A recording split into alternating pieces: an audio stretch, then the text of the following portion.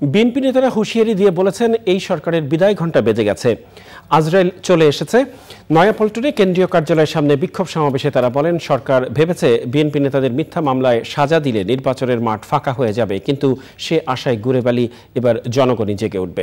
রাহুল রায়ের report. BNP নেতাদের মিথ্যা মামলায় সাজা দেওয়া হচ্ছে।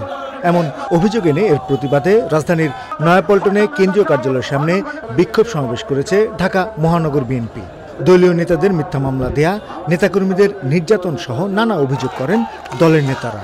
বিরোধী দলের নেতা কর্মীদের বিরুদ্ধে যে মিথ্যা মামলা, তা হচ্ছে চুরির, এই বর্তমান রেজিমের ভোট চুরি প্রকল্পের একটি অংশ।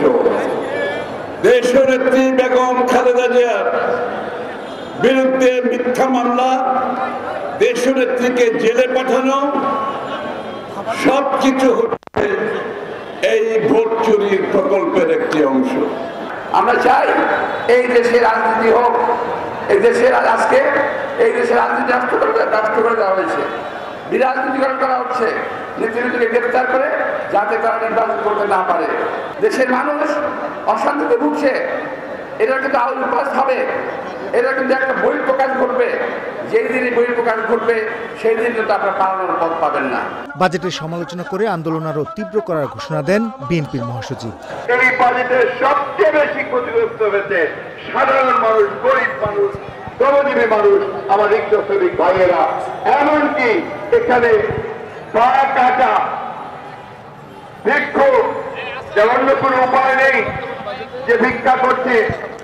পর্যন্ত বার পাওয়া যাদের কর কথা বলা হয়েছে, তাদেরকেও কর দিতে হবে তিন নাম্বার লাগাতে হবে। অন্যদিকে দৌড়ে কোনো লাভ নাই। আমাদের সময় ঘণ্টা হয়ে গেছে, ঘণ্টা বেজে গেছে। পেছনে এসে দাঁড়িয়ে গেছে বন্ধুগণ। বিএনপি নেতারা বলেছেন, শিগগিরই পরবর্তী কর্মসূচি দেওয়া হবে, তার জন্য সবাইকে প্রস্তুত থাকতে হবে।